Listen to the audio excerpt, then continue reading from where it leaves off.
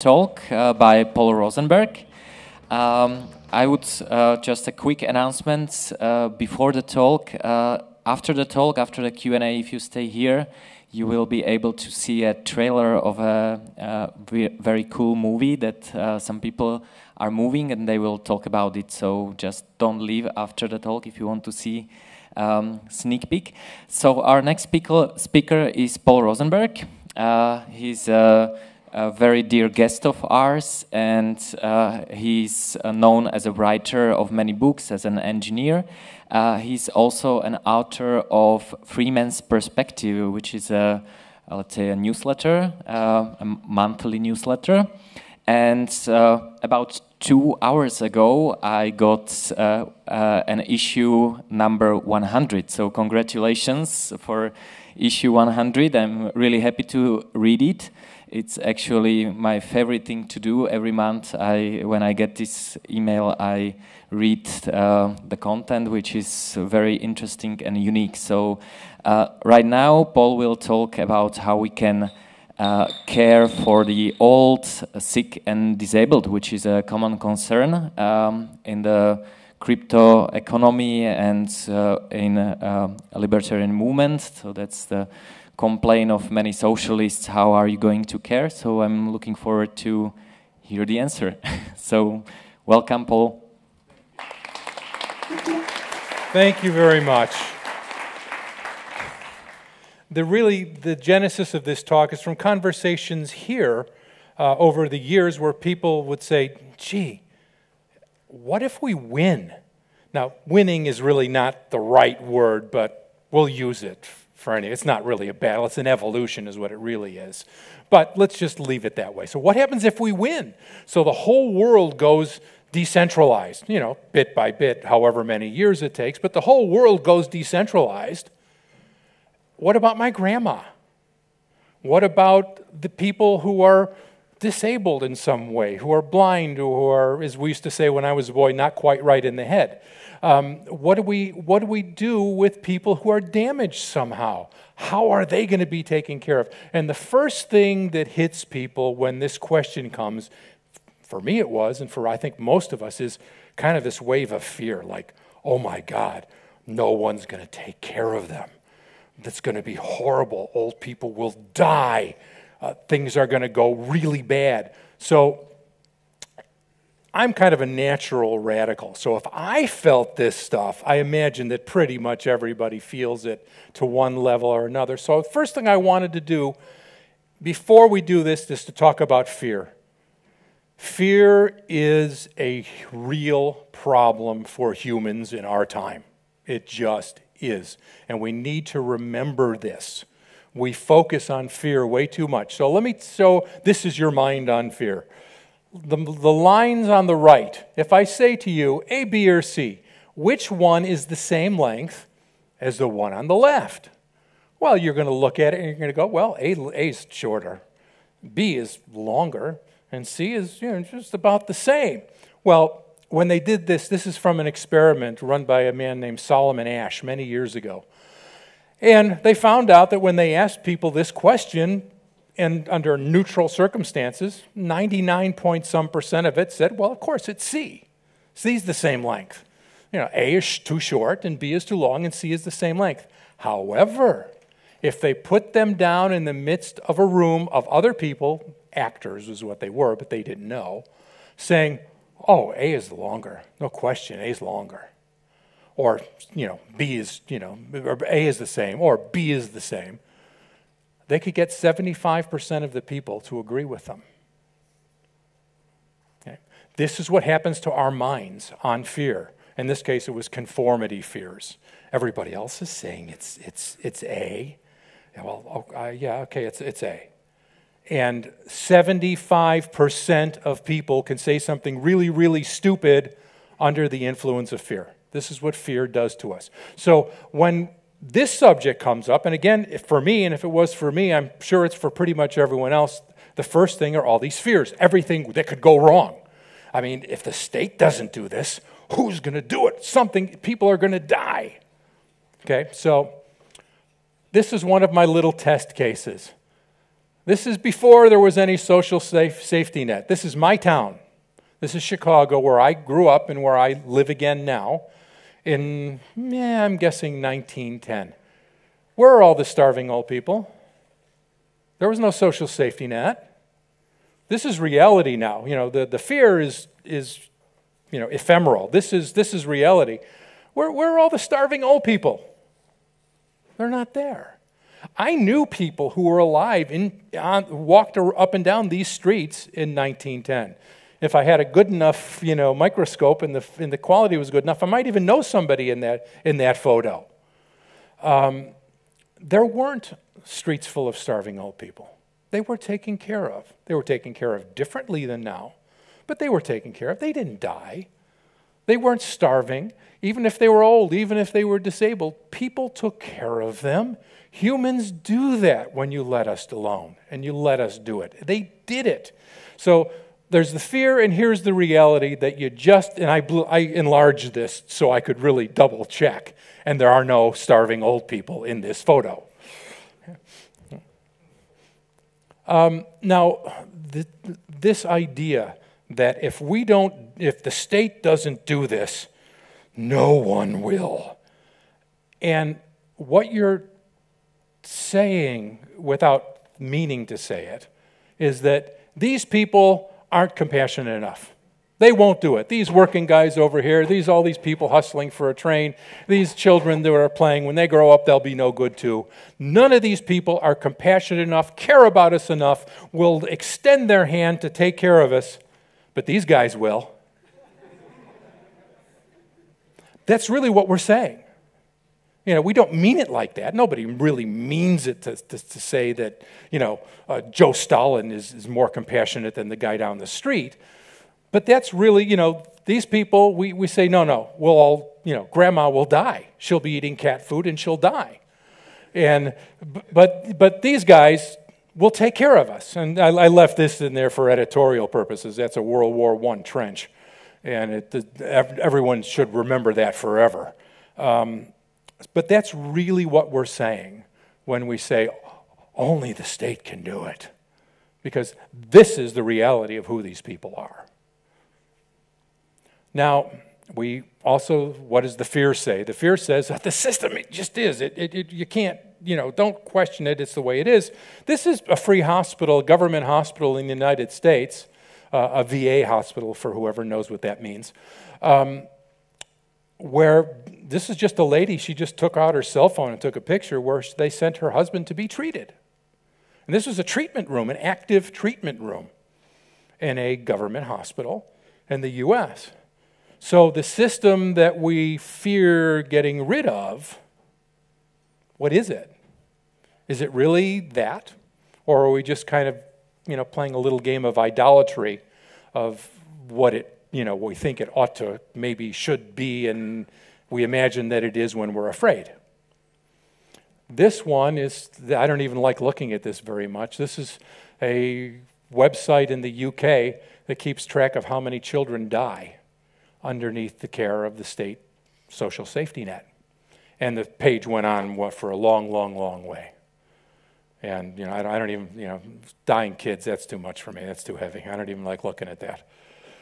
Um, the whole model of these, the centralized model, you know, things only the government can do and things like that, it's, when you actually crunch the numbers, it's kind of sick. Here's, this is in the United States, which are easy numbers for me to get and work with. Um, it's not, it's different everywhere else, but not that different. This is in the US. All told, the social safety net in the US is $2.5 trillion a year. Now, it's actually 2.7, my editor tells me, but let's go with 2.5, close enough. Um, that equals, this is what they spend every year that they take from people and print up bonds and all the things they do. That's 8.3 million new houses every year, and to feed 126 million families every year, and to provide health care for 231 million families every year. That's how much money that is. We don't have that many families in the United States. we have maybe 120 million families. Households is the technical term. So, all of this money that they're taking, it's way more than enough to take care of everybody. Not including what we already pay for ourselves to buy our own food and houses and medical care.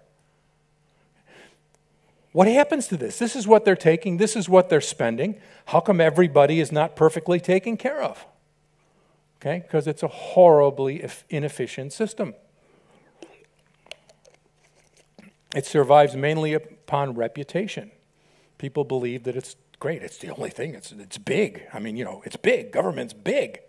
And big is, you know, better. It's stronger. It's, it does things. Big is good. Well, it, it's not really. Um, so it's horribly inefficient to do it in a centralized fashion. Now, this idea are, are people compassionate enough? Um, again, I, am using US figures. It may differ a little wherever you live. Um, but after, after half of their earnings were taken from them in taxes, which is any productive person in the United States, it's, you know, varies a little here and there, but it's in the range of half if you count up all the various takings of all different kinds. After half their money, half their earnings were taken away from them, Americans donated $298 billion to charity. So these people aren't compassionate enough? Really? Huh. That's interesting. And this is crucial, and we'll talk about this more in a bit. In a crypto economy, a real crypto, fully developed crypto economy, you don't lose half your money in taxes. You pay for what you want to pay for. You don't lose it. You don't have it taken forcibly and given to this gigantic bureaucratic system that, you know, it ends up in, you know, heart shaped pools in some bureaucrat's backyard and whatever else it ends up as, or war machines or whatever.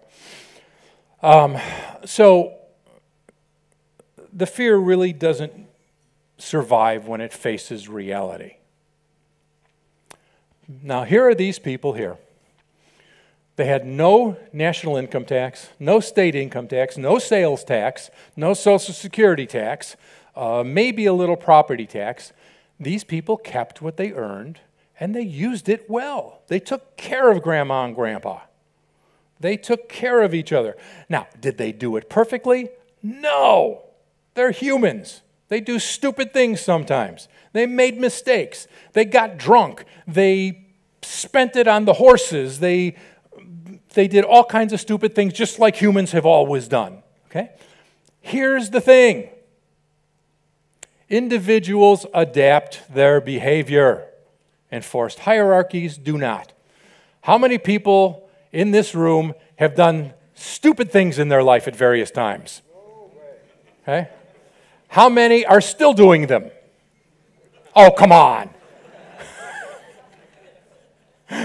we adapt our behavior. If we go out and do something really stupid and hurtful, we'd stop doing it. We don't do it again every year. If we blow all our money a, at a racetrack, most of us will stop doing it the second or third time. Okay, some small percentage won't, and God help you.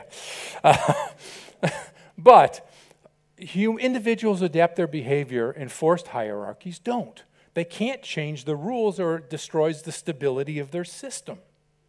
I mean, how often does a giant enforced hierarchy really change things? every 100 years, every 50 years, not very often. But individuals change their behavior every day. So we adapt, and in here, let's pick on this guy over here. He does something really stupid this year. He's probably not going to do it next year. He's almost certainly not going to do it three or four years down the road. Most humans behave pretty well most of the time when you drive your car down the street, you're driving on a highway from one place to another. And there's how many drivers do you see who are basically okay? And how many do you see that are a total jerk? You see maybe 900 and some that are basically okay, and one or two who are who's a total jerk. But you remember the one or two. You fixate on the one or two, and you ignore the 998. Because that's a problem we have. And we need to remember that. But this guy, you know, he's going to improve next year. And so is everybody else. Now, here's another important fact is that mechanized relationships, with all of these enforced hierarchies, are essentially, I call them mechanized relationships. You will do this. You will get the order to do this, and you will do this, or else. It's a rather mechanical sort of arrangement. They create atomized individuals. And what I mean is, when you are in this position, let's say you're this guy here, you get a whole lot of your life is just, in, just directly between you and him. Your taxation, your pension, your, uh, in the United States, is Social Security, um, how you can register your car and your house and everything else, oops, is all between you and him. And you stand alone. And it creates it, it creates a situation that tends to separate us from other people. We don't have sideways relationships. This is monopolizing, and we have our relationships with power, the law. The law says we must do this. Financial, it's all controlled through a center. They must say we must do this. Here are the rules. We must register. We must do this. We can put our money in this investment and not that one, and so on. We all stand as individuals. Here's what atomization does, whether on purpose or by accident, and I think most of it is just by accident. But this, Carl Jung wrote this, and he was entirely correct. He said, In order to turn the individual into a function of the state that is a part of this hierarchy, this forced hierarchy, dependence on anything beside the state must be taken from him. And this happens all the time. I mean, Jung was ever so right. I don't think it even happens on purpose most of the time. I think the people in government are just there and they extend their own power and extend their own realm as far as they can. And this is what they see, this is what they look at, this is what, what appears to them, and it's what they do. And it, it's really not a good human relationship uh, to be atomized in that way, everybody standing alone. Um, voluntary relationships create a rich cooperative society. This is decentralization. Everybody can communicate with everybody. Everyone has an equal standing to communicate with everyone else. We can all interact as we wish. So if I'm dealing with my friend who I know, I know what he likes, what he doesn't like. I know what he might think about this. I know what he might think about that. If he says, hey, let's meet for lunch, I know what kind of stuff he likes, where I can go, what we can do, what's closer to him, if he's having a good day, a bad day, his kid's sick, everything. I know all this, and I can bring all this stuff into our relationship. Whereas in this situation, all of that is excluded.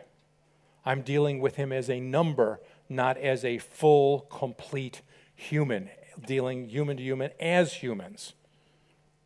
So, this is a much richer type of relationship. And the more we're atomized, the more aspects of our life are just atomized, that we just, just us, the more we are robbed of this kind of relationship. I don't mean that we should be less individual or that we shouldn't have the courage to stand up when we're the only person. We need to do those things. But we like we want to have rich relationships with each other. It's just more rewarding. It's just a better life. Okay. This is why decentralization is better. And what I'm going to be discussing as we go forward is not a social safety net, but many social safety nets. Decentralized, many social safety nets. Um, why is it better? We're no longer atomized. We understand each other better. We communicate better. And if somebody is having a problem, grandma isn't, doesn't have any money anymore, I understand grandma. I know what she would like. I know what she wouldn't like. And I can say, okay, let's put grandma together with this person, whoever it is, the niece, the nephew, a friend, whatever, whoever it is, and have some kind of relationship that'll work for grandma that she'll be happy with, that she's not just a number on a page getting a, a uh, the, whatever the system gives her. Some rules that was set 3,000 miles away by some politician. Something that matters to grandma. Um, nearly all decisions are made locally, which is to say the same thing. Um, our decisions involved conscious choice, not the edicts of a system. Very few of us are actually abusive. We're just not. Most people are pretty good most of the time. Yes, we have stupid days. Yes, we have stupid moments, but we don't keep repeating them because for 50 years. We just we, we don't. We just don't. Um, we are slowly getting better. Humanity is far less cruel than it was a couple thousand years ago, no question. People are far more creative and interested in being creative than they were even a few hundred years ago. We tend not to see these changes because we're in the middle of it. We want it to go fast, man. We want things to get better like, you know, next week. Why not now? And unfortunately, it takes time. But over a longer scale, humanity is getting better. Very, no question about it, very clearly getting better. Maybe not fast enough, but getting better. Um, we're already better than the rule makers.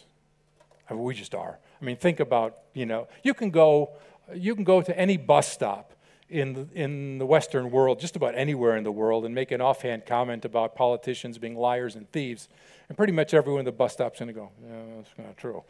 Um, we're, we're morally, we're better than the people who make the rules. We just are.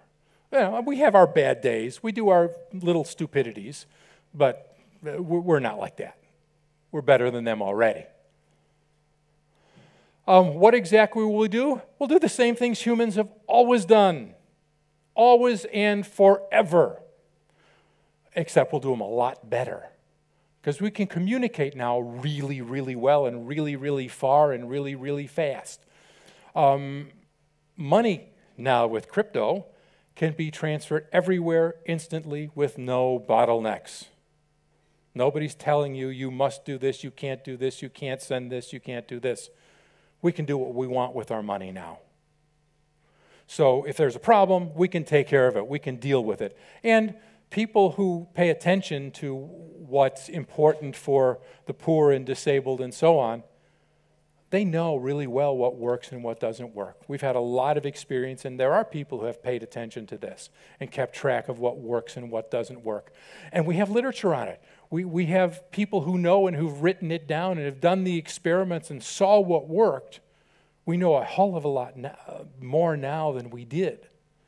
And again, the information is really easy to transfer these days. So we can do a lot better. Now, if you want to talk about the social safety net, this is the big one. Right? This is not my family. I couldn't I didn't have time to get into the, you know, the box of my family photos but it looked pretty much like this. This could have been my family. Um, but this is really where, I don't know, 90% of the real social safety net really in a natural condition comes from. Because these people know each other. They care about each other. You know, here's, here's little, little Annie, and, you know, her, her cousin knows her her whole life. Her uncle knows her her whole life. Her mom and dad would, would give anything for her. Grandma and grandpa love her and care for her. Who's going to take care of little Susie if something goes wrong? You bet these people know how. They know what she needs, they know her, and they care about her. Who better to take care of her than this group? No one. No one. And these people, under a free economy, a real decentralized economy, their income just doubled this year. Boom. They've got lots of assets to do this. Fix up the attic. You know? Get a carpenter, come in, fix up the attic. We got an extra room. Little Annie, come live with us. Or grand, let grandma come in. Let grand, grandma come live with us. Aunt Sadie is having trouble. Her husband died. We'll build, we got an extra, extra area in back there. We'll build a little addition. Aunt Sadie will come in. She'll babysit for us once in a while. We'll make a nice family of it, and everyone will be happy. This is what humans do, always. How many families there are? Um, there's a great line from a, uh, from a, a TV show, which is not very often I get great lines from TV shows. But one person's talking to the other and said, Oh, my, my mother isn't, you know, is a widow now and isn't doing well. He says, What's wrong with you? He says, he says, Do what we do. Put down some carpet in the garage and build up some walls, and everyone's welcome. Come on, let's go. People do this and have historically done it. We only don't do it now because, uh, because other people don't do it. Uh, it's not everyone's doing it, so we're afraid, again, the conformity experiment we're afraid to do it because no one else is doing it. Okay? But I got to tell you, when you do take in people and, and do things like that, it makes it a really rich part of your life. It, it helps them and it helps you. It makes your life richer. Um, this is another social safety net. I wish I had a better picture. I, I did work for these people in like 1981, 1982. And I had the thought in the back of my head at the time, gee, I should have a picture of this place, but, you know, I didn't carry around a, an Instamatic camera with me in 1981. Um, but this was a Christian group, and of course, the number two place of charity historically is churches and synagogues. I mean, they take care of people. Not perfectly, not everything, but so what? Nothing takes care of them perfectly. I mean, the system now, please. You know, people die. I mean, people literally die in this system. Um, so this was a Christian group back in 1909 before the aforesaid state tax, national tax, local tax, tax on your electric bill, tax on your car, you know, whatever. And they put out their money. I used to, I used to fix up their machines for them. They fed they fed guys who were drunk all every day, who were just they used to call we used to call them bums when I was a kid. It's probably considered very rude now. I don't use it anymore. Um, but they were guys who were drunks. But they said, you know what? These are human beings, and you know, could be your uncle, man. You know, try let's do something and help. And they would feed them. And they had you know the, the cases, the steam trays and the food every day. And I was the young guy who wired it all up and made it work. And they did this every day, all day for decades. They only finally went out of business in like 1990 ish when just the government just was taking over everything and they just rolled into a government organization and vanished. Um, this is another one that I saw all my life self reliance. They used to have. Uh, a big office uh, on one particular street they used to, I used to drive by. Uh, and they were the Ukrainian group, and they looked after their own guys. This is another way people do it. Uh, we're all from the same place. Let's help take care of each other. I used to know all the Bulgarians that, the, that there was one particular home where if when the guys first came into town, they would go and stay with such and such family, and they would take care of them, and they were my friends and lots of them came and, came and went and they had problems. Oh, so and so can help you. Or I need a job. Oh, that's right, you are uh, you can do this. You know, you should talk to so and so's brother. They can get you some something. And this worked I, for years. I watched this work among the Bulgarians. And I drove by this place for years and years and years until finally they were essentially pushed out, not directly, but essentially pushed out by the state and became um, a credit union, a, a kind of a bank. This is little bit cleaner. Little bit was a little Korean, little skinny Korean lady with a name you couldn't pronounce it. And so everyone called her Little Bit. and, uh, and she was my friend's wife, actually. And Little Bit was the Korean banker. 30 minutes in, okay. Little Bit was the Korean banker.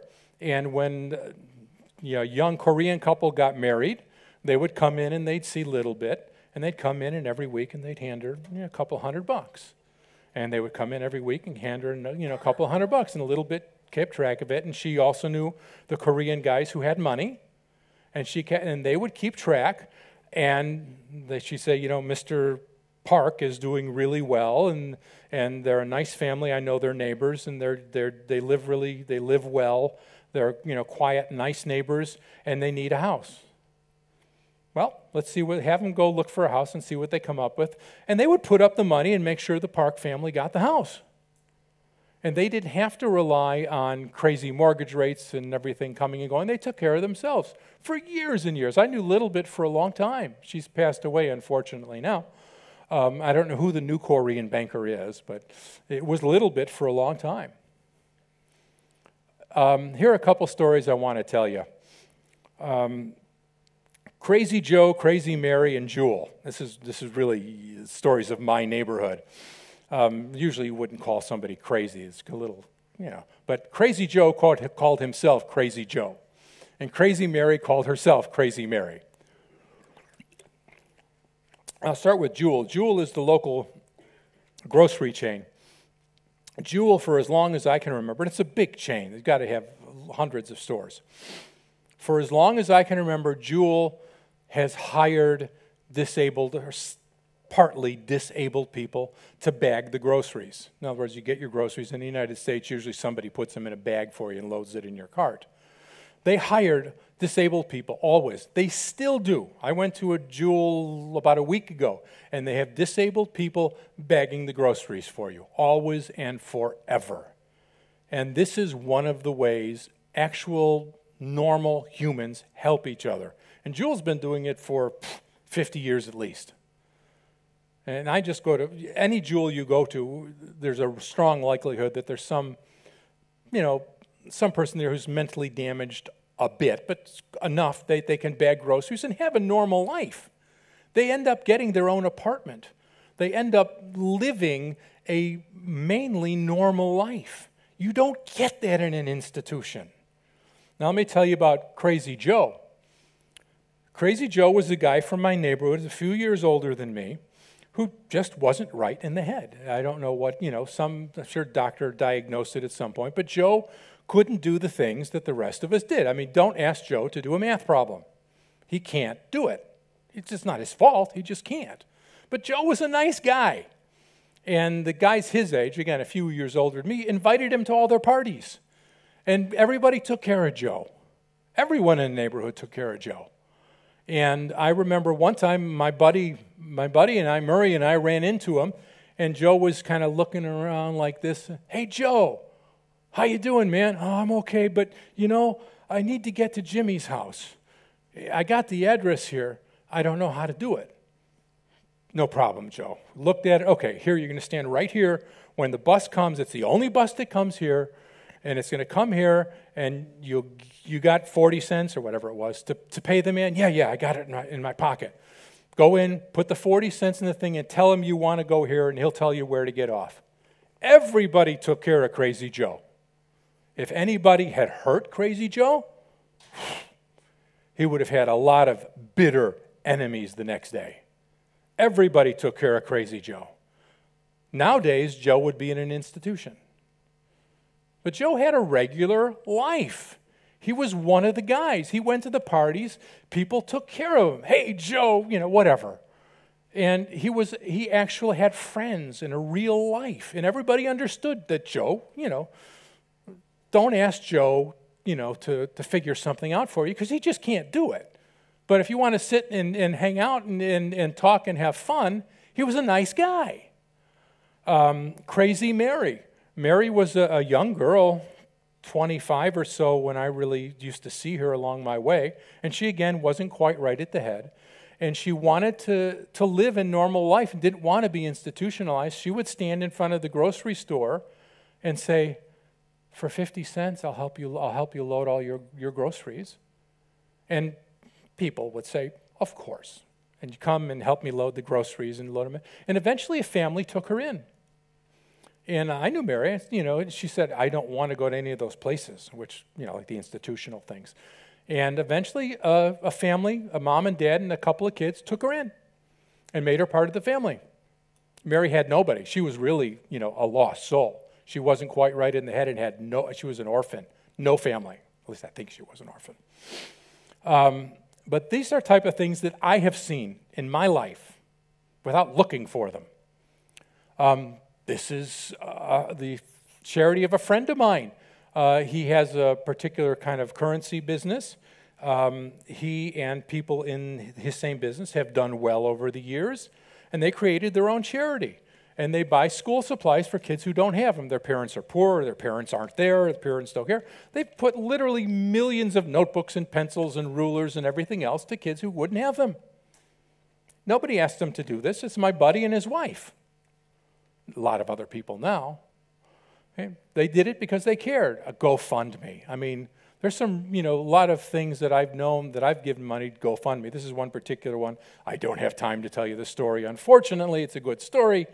Um, this is a Mexican kermes where it's a somebody gets sick. I was one. I was at one this last summer where there's a, a lady, um, 30, 40 ish, uh, who has cancer, and the insurance wasn't going to cover it, at least you know cover major parts of it. So all of the people from their little town and from the surrounding towns who came to the United States, which is a lot of them, they said, you know, let's do a kermes. Okay. So went, got a park, and people came, and one family made a whole bunch of tacos, the other family made a whole bunch of, uh, you know, whatever, all the various types of Mexican food. And you'd buy tickets for, you know, however many dollars for tickets, and then you'd go buy the food, and all of the money went to the sick fam- the family of the sick lady. Happens all the time. Humans do this. We always have. Um, this is just for, you know, for fun. Um, nobody would really think of this right off, or very few people would. 69% of the firefighters, the firemen, whatever, I, I guess fire persons, whatever, mostly men, um, are volunteers in the United States. There are a lot of volunteer fire departments all over the United States. And if there's a fire, phone calls go out to him and him and him and him and him and him, and all the guys show up. And they go, you know, put out the fire. It's volunteers. People do this. Now, this is the one when you say, you know, okay, you got this and you got this and you got this and you got this, you got all these various social safety nets, but still there are cracks and things fall through the cracks. Well, Yes. And they always will. There's always going to be exceptions to everything. Nothing we're going to do is going to be perfect. Nothing we have, what we have now is a million miles from perfect. And if ever we reach perfection in this, it's going to be in so many thousand years, not next, not next year. But for the cracks, then you have things like we would consider traditional charity. I have been so, so happy with the crypto community in many ways. For all the little things we're concerned about and we fight about, and this or that or the other, and the people who made money in crypto have really done well with it. Crypto charities, and I know of cases where they're not a charity, it's just somebody said to someone else, you know what? I got all this crypto and I didn't really, you know, I mean, I wasn't planning on having it, and I've got it, and I've got more than I need. I want to give you, you know, so many bitcoins because you really need to be in the crypto space. You need to be involved full time. I'm giving you enough money so you can quit your job and do crypto full time because the crypto community needs you, and I want you to do it. People do this. People have done this. And this person or group, I really don't know that much about them, 55 million because how many houses do you need? How many cars do you really need? Is it really about living well or is it really about impressing other people? Which, if it's the latter case, that's kind of stupid. Um, so the crypto people have done really well starting charities, giving money away, trying to find deserving recipients and giving them money. We're doing well. Now, we notice the problems. We notice the jerky driver and don't notice the 990 decent drivers. But we're doing really well. I'm really happy with the crypto community. So, in the end, oops. Martin Luther King was right. The hope of a, of a secure and livable world lies with disciplined nonconformists. And it's the way it is. It just is the way it is. Um, and that's what we have been doing. That's what we're going to be doing more of. And if we get the decentralized crypto world that we all want, things are going to be better. And they're going to be better for grandma. And they're going to be better for the guy who loses a leg or whatever it is. It's going to be different, sure. And are there are going to be moments when it changes from one to the other that are sloppy? Well, yeah, there will. That's life. No one can promise perfection on this. I mean, if we do, we're, we're you know, rip-off artists. We can't provide protect, perfection. No one can. But it's going to be better for everybody. By far. It's not even close. It's not even close. I mean, look at the, the, the money that I, that I was showing you in the U.S. They're paying double. Where's it, you know, that would, that's money that would be in our hands. Not to mention the half of our wages that are taken away. It's going to be much, much better. The, the hope of a secure and livable world lies with nonconformists. It does. Thank you.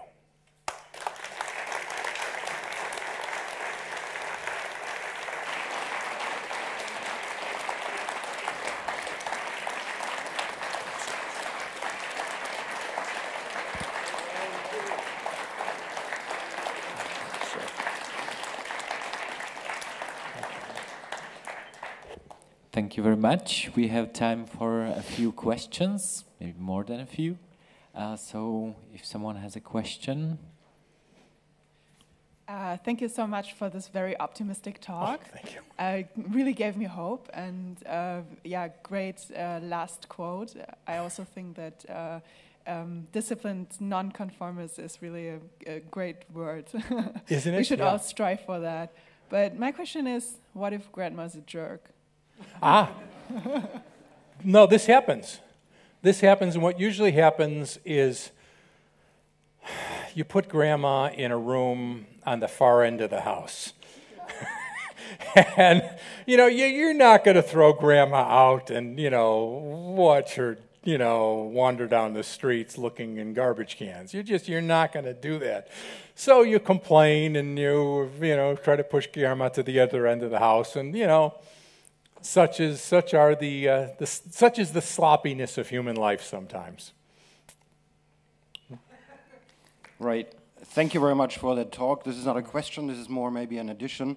Um, uh, only two hours ago at the World Crypto Network uh, booth down there, we discussed a kind of very unusual shell money that sticks out of all the shell monies that civilizations all over the planet and time have used. And it sticks out because uh, that Micronesian civilization used a shell that was neither scarce nor did labor go into the shells. And the shells literally lying around on the beach, which every economist will tell you this is crazy, this cannot function. The backstory behind this is that those shells, once spent, were not used as money to buy something else, but you would collect the shells that people pay for pay to you for you having done something for them, decorate their house with it, and increasing their social status in society by showing their potential of being able to do something for other people and showing that they have done something for other people, which is, I think, an incredibly nice uh, example that shows that it's literally culture um, it's nothing else. It's, it's, it's not uh, a law of nature or anything like that. It's our culture that we built.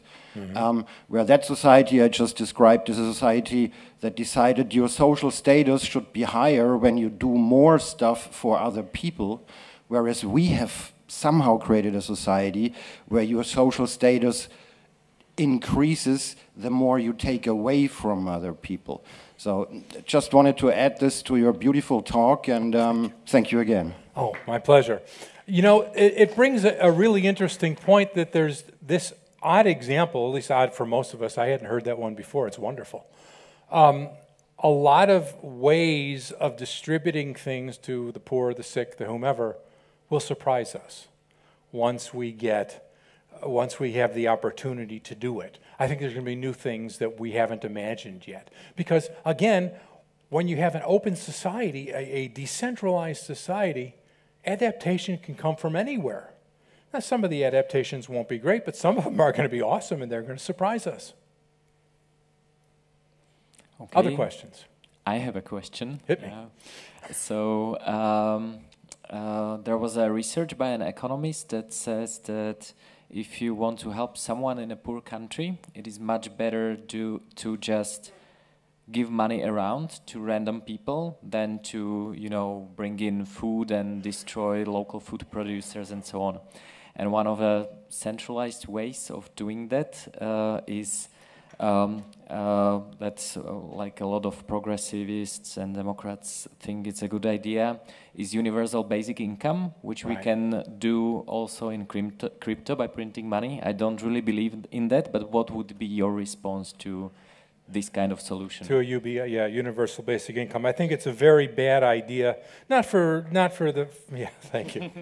uh, not, you know, not for the money part of it. I'm giving people, you know, money is okay, fine. Um, but it destroys all of the social connections, all of the personal value we gain from work. It's very good for us to be able. I used to do uh, electrical wiring projects. That was my job for a long time. Um, and I would find myself driving around town saying, See that building? I wired that building. I made that building work. See that building over there? I designed that. I did that. And it's good for us to have to see that we've been productive. We've changed the world. We've made things better. We need that. And we need the social interaction with, with fellow productive people and to learn how to work together in groups. Hey, Jim, grab that for me. Okay, let's go over here. Let's do that. Did you take care of the West Wing? No, I didn't. I had to do this. What about, and all these kind of interactions that we work as people and we're productive and we're creative and we're doing important things. Work is so much more than money. It, it really should never, it's, it's a relic of the Industrial Revolution that we think of work and money as together. Work is recreating the world according to our own will. We are remaking the world. I mean, this building, this was made by people.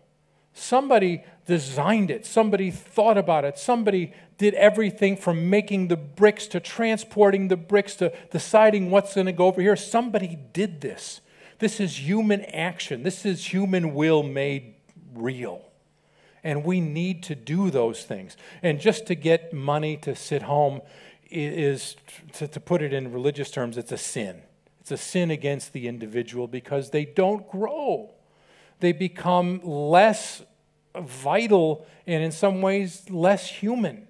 You've got to create, you've got to do things, you must exercise your will in the world for the good. Otherwise, what are you doing? What are you going to think when you're, when you're you know, 50, 60, 70, 80, 90 years old? What did I do? I took a check. What the hell? Yeah. So it, it's very, it's vitally important. The money I really don't care about, but destroying the dignity, destroying the productivity of work is a horrible, horrible crime against humanity.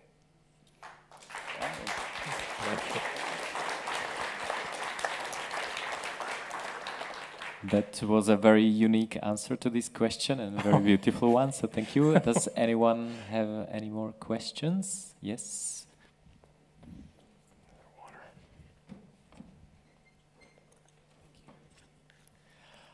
Thank you, Paul, one more time. Um, I don't have a question actually.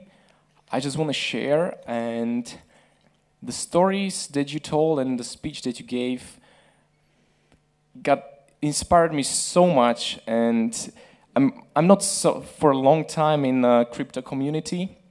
Uh, just a few months and I'm first time in this, uh, in this congress. But after your speech and after hearing other speeches and talking to people, I got such a huge inspiration that we are on the right track and that, that we are in an amazing era where we can change things, where we can contribute to a more liber- liberated society. And I'm so happy to be at this time, at this place, and to, to talk to people and, and really to hear these stories. So thank you very much. I thank all of you guys for, for kind of being he here and getting this information to the world and to the other countries. Thank you very much one more time. Thank you. Thank you all. So I think this is a beautiful way to end this Q&A. So thank you very much you, uh, for your you. talk. Uh, please. Thank you so uh, yeah.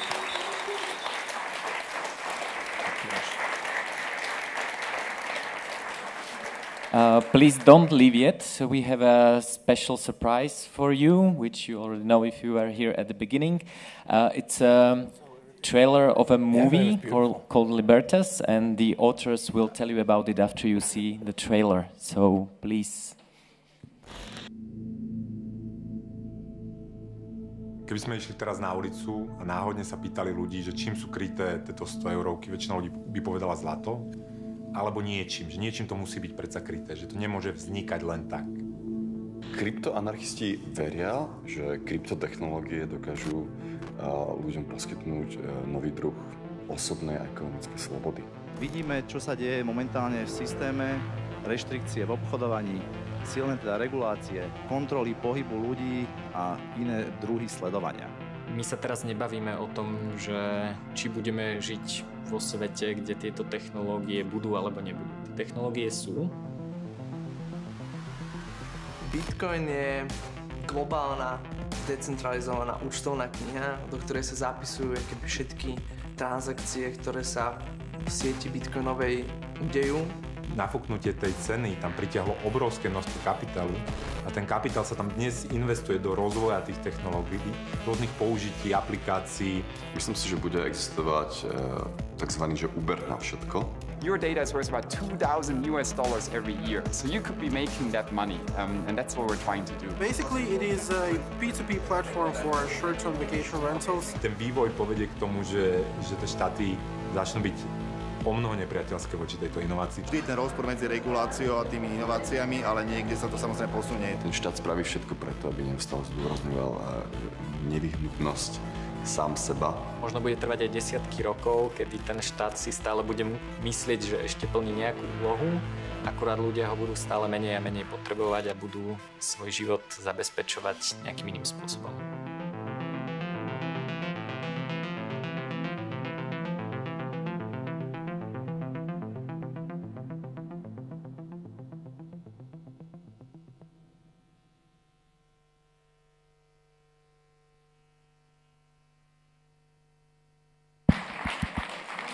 Hi guys, so uh, what did you think? Was it okay? Yeah. Uh, so my name is Boris, this is, this is Slavo, and uh, what you just saw is just a small teaser for a project that we've been working on since last year. Uh, we decided to call it Libertas.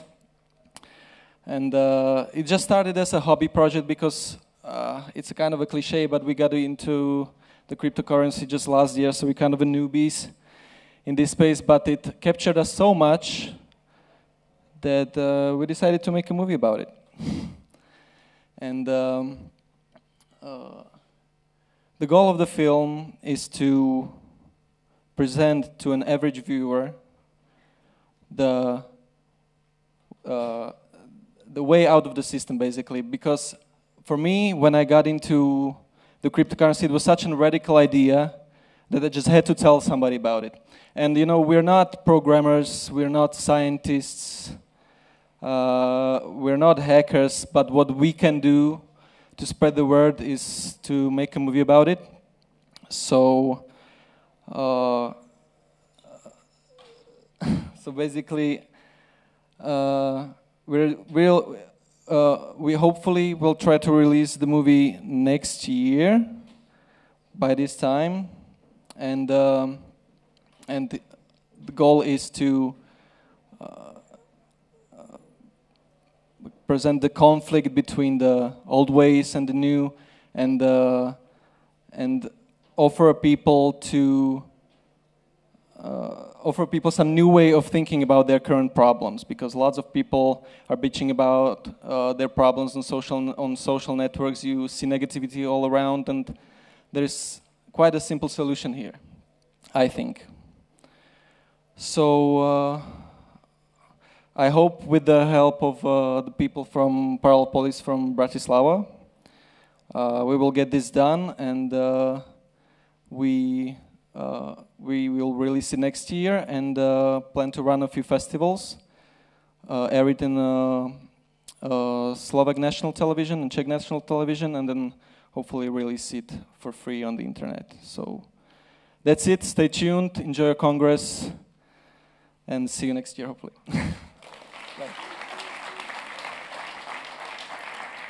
Thank you very much. We hope we will be able to screen the movie here at Hacker Congress next year.